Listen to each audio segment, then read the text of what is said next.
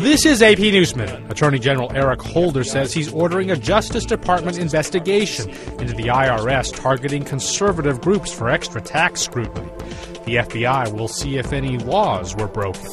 But Holder says he had no direct role in the Justice Department's secret review of Associated Press phone records, calling it part of an investigation by the government into what he called a grave national security leak. An outpouring of support for Oscar winning actress Angelina Jolie after her disclosure that she had a preventative double mastectomy because a gene mutation significantly raised her risk of breast cancer.